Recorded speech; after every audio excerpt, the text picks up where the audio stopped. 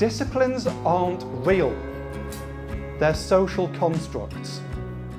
The only barriers to you moving between these fields are the ones you place on yourselves and the boxes you give yourselves based on what degree you think you did in the past. Climate change is one of the largest challenges of this century. To answer very complex questions of impact adaptation mitigation, we need to join forces of different disciplines, share knowledge and technologies. The Super Summer School that we are doing is a cooperation between three cost actions. So these are three really huge networks uh, that are focusing on three different subjects. Uh, but the, the main focus is on forests from dif different field of views.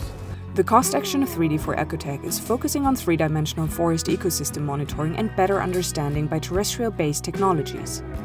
For example, terrestrial and mobile laser scanning implementation for precision forestry or forest ecology. Creating accurate data is crucial, and so is enhancing the usability of the data for decision makers. This is why the Cost Action Bottoms Up aims to increase forest management sustainability, focusing on multi-taxon forest biodiversity. The action harmonized data, protocols, and terminologies towards science-based forest management policies. And the research doesn't stop here.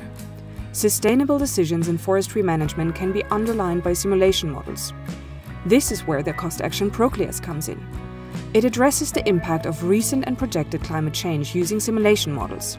The action develops common protocols, harmonized datasets and methodologies for modeling studies. One of the sectors that PROCLIAS is addressing is forestry.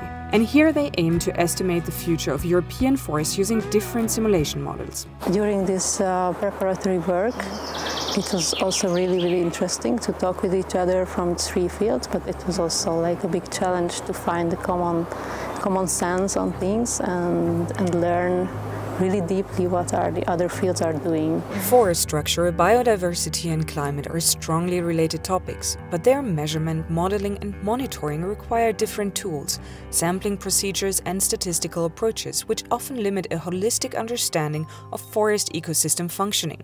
When we actually found time to, to get involved in this call, we found many points in common and, uh, and we thought that uh, it would have been uh, really great to, to do something together. And then the training school was the best way to, like, to share this idea of uh, looking at the forest from different uh, perspectives. For example, active LiDAR technology has been mainly used to assess 3D forest structure but such information has rarely been used to explore the link with diversity and distribution of forest-dwelling taxa. So not only plants, but also birds, insects or bats. At another level, map tree information can improve both, the understanding of spatial diversity patterns and fine-tuning process-based forest modeling. In our summer school, we would like to show young researchers how to use an integrated approach, communicate with people from other disciplines and achieve interdisciplinarity in their research. Welcome. We are very glad that uh, we are finally here after months of preparation. You have issues in the field that can be solved, uh, usually just that you have to put together people from, from, from different countries. You have to like take all, all the people that are in the field and make, make this kind of movement and change. So there is no manual how to do it, you know. This is something that has not been done before and we went back and forth like how to really approach it. And then we decided that uh, okay so let's make the open call and ask the students what they think. And on the beginning we were thinking that we will just you know divide divide the students and they will walk uh, along each other.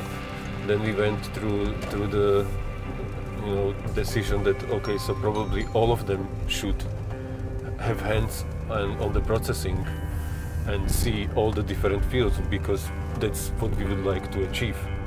The organizers of the summer school put a program together that leads the students through all three disciplines and invites them to combine the different fields.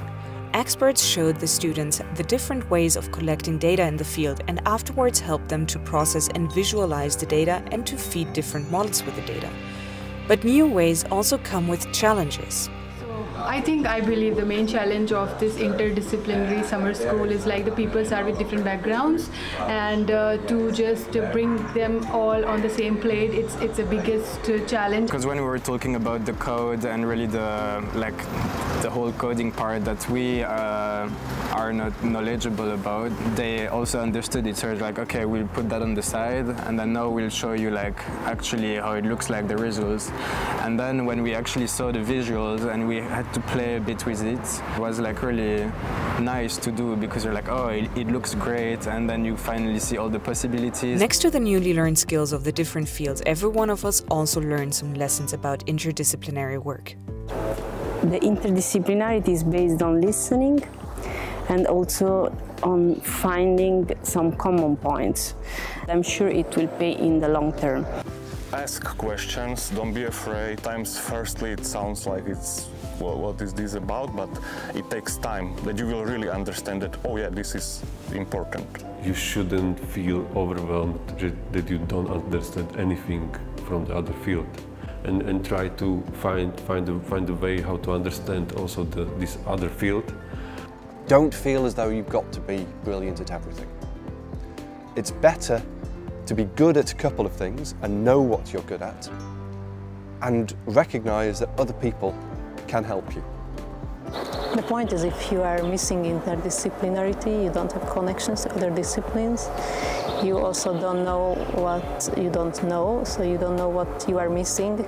We think we set an example for interdisciplinary thinking by targeting young scientists and showed how cost actions can play a role in this. At the end of the week, students with different backgrounds worked in the same groups very successfully for the practical exercises. Students' communication and cooperation improved greatly. They gained confidence to present their own field and openness to understand and listen to others. The group started to function as a community where everyone put together their expertise and created a common knowledge. In the future, this skill can be crucial for applying project proposals and addressing complex interdisciplinary questions. Because the most important connections that have been made at this school aren't with the staff at all. It's not about us as teachers. It's the students talking to each other and forming a community. Because they will be going through their careers together at the same time, at the same stage. And this is now a group of friends, people who've worked together and understand each other, and who can talk to each other and support each other.